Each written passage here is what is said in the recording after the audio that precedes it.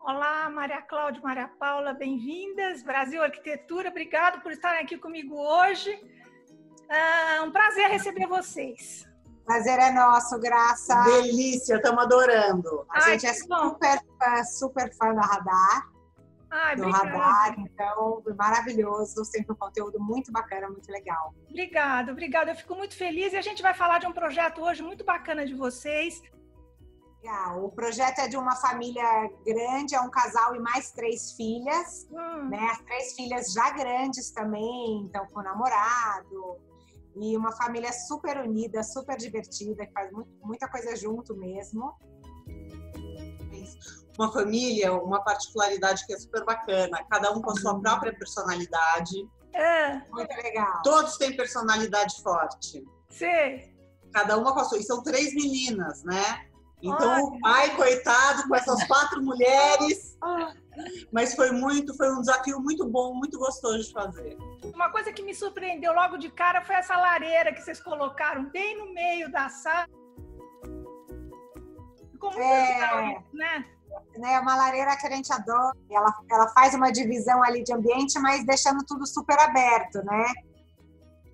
E aí ela atende ali para o jantar, né? Para um jantar mais cozy e também para o living. Ela atende para os dois lados. Ela, ela consegue, apesar de ser leve, suspensa, pequena, trazer esse aconchego para os dois ambientes. A gente a, pro... a proposta era uma coisa bem integrada, então, vocês acham?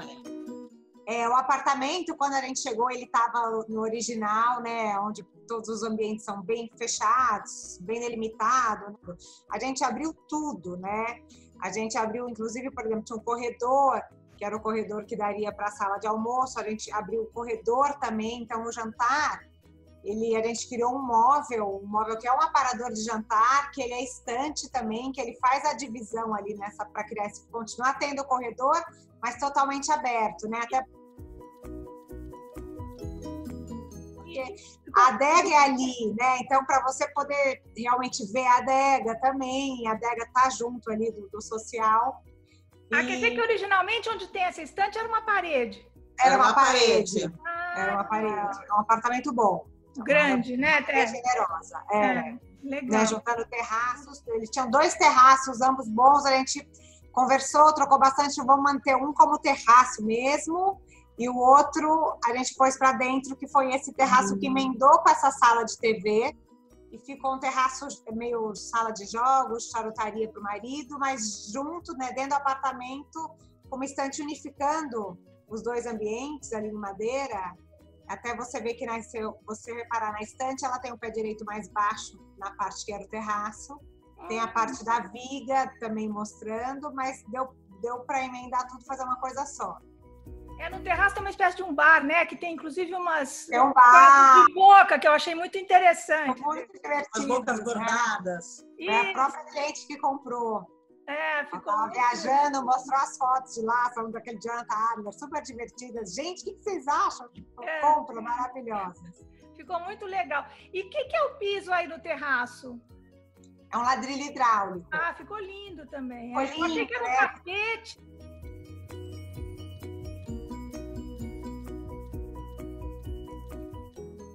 Ele tem o ladrilho entrou tanto nesse terraço que integrou, quanto no outro terraço que ficou terraço. Agora, uma coisa que eu achei muito diferente, muito interessante, é essa cozinha uh, azul marinho, que, que, que, tem essas portas, esses painéis. Me conta qual que é. A, é a cozinha oficial da casa, essa? Essa é a Copa. Ah, essa é a Copa. É a Copa, que inclusive até a Copa a gente eliminou totalmente a parede Também. e fizemos portas pivotantes em metal com vidro. Fica uma coisa meio industrial, né? Essa moldura preta dá essa coisa mais despojada, não é, dá? a ideia era num jantar que você precisa acomodar de repente os filhos, os filhos ficam ali na sala de almoço. Todas as portas abertas, né? Você simplesmente pivota as portas, tá tudo aberto, tudo unido. Muito legal. E funciona como uma, um biombo também, né? Tem uma funciona como um biombo também, né? Exatamente isso. Ele dá, né, mais como ele não tem uma função acústica, né? Ele é mais a ideia do biombo, mas que feche todo o ambiente quando você precisar. tem uma porta de fato fechada, a porta tradicional do apartamento que chega na cozinha, que também é num azul, um azul só que é um azul claro, um é. azul queimado, acinzentado. Ah, eu vi, linda também. E a gente adorou também, o resultado também foi bem gostoso. É, a, a Bia, que é essa cliente, ela é gostoso porque ela, ela gosta de ousar, ela gosta de, de pôr cor. Ela é aberta a novas é ideias, ela é uma pessoa aberta. É bom isso, né? Então, porque, assim... voltando agora para a sala de televisão, aquela estante vai direto do, do, é o home, né? Ali a sala de televisão. É o home. É, é. E vai direto para o terraço, né? Da estante foi, foi unir mesmo o terraço ali com o home tinha ali nessa parte que era o terraço, né? Que juntou ali, ficou, né, ficou geladeirinha. Hum, então, uma, uma, uma adega de refrigerante e uma cervejeira. Ah, uma tá. cervejeira junto, exatamente. E, e a gente manteve o piso, manteve. Colocou esse piso de ladrilho hidráulico.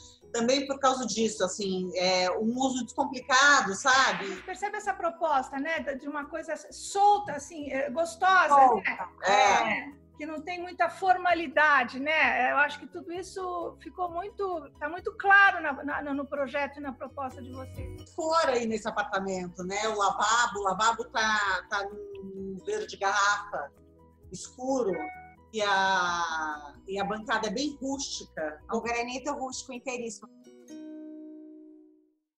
Uma pedrona única de, de granito rústico esculpida. Que legal. Não, então, vocês, é, gozado, vocês usaram mesmo nas cores, né? Vocês, vocês viajaram foi. nas cores. Foi uma é... delícia, foi uma delícia, né? porque ela super topou. Essa gama de cores, assim, com bastante personalidade, eu diria, né? É, e são cores que, que a gente considera que também são cores que não enjoam, sabe? São cores, são as cores bem eternas, assim. Como é que vocês se inspiram para escolher as cores? É, muita é, conversa, eu acho. Acho que é muita conversa, é, muita troca. É, eu acho que essa parte de descobrir o que o cliente quer e muitas vezes ele nem sabe é, é uma das coisas mais difíceis, é, né? É, e mais gostosas, né? A gente, se você reparar, a gente, nossos projetos são, no geral, são muito diferentes um do outro, né? E é o que a gente mais gosta, de tentar captar bem o que, que o cliente quer, o que, que ele gosta é. e o desafio de, né? De sempre fazer uma coisa diferente, sabe? Não, não é nenhuma questão da gente, assim, estar se superando, não, mas é uma questão de vamos lá, o que, que tem de diferente, de bacana dentro exatamente do perfil desse cliente. A Claudinha brinca comigo hoje em dia, a gente, a gente falando, a gente não pode morar dentro da caixinha, vamos Vamos é. abrir aí, vamos ver primeiro as possibilidades, nem que depois a gente enxugue. Nem que volte. Gente, é, depois. Exatamente, nem que depois a gente volte. Mas no começo, tentar abrir a cabeça. É, é, é, eu acho que deve ser um desafio mesmo. Isso deve ser bem difícil de conseguir, né? Porque no final você acaba. A tendência é sempre para aquilo que você. A tendência é voltar. O que você conhece, né?